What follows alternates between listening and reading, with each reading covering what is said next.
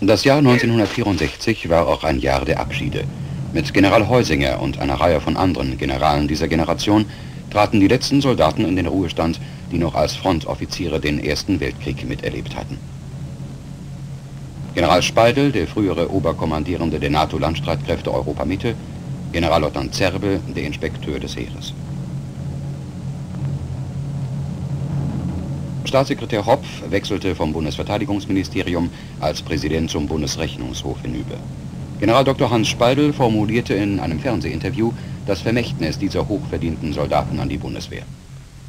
Der Bundeswehr, der wir uns immer zugehörig fühlen werden, wünschen wir Mut zum Bekenntnis, gegenseitiges Vertrauen, Einstehen füreinander, Entschlussfreudigkeit, treue Kameradschaft im Geiste bester Tradition, der zeitlosen Werte, echten Soldatentums, die mit dem wahren Menschentum identisch sind.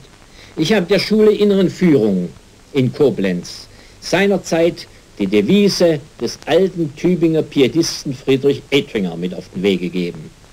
Gott gebe mir die Gelassenheit, Dinge hinzunehmen, die ich nicht ändern kann.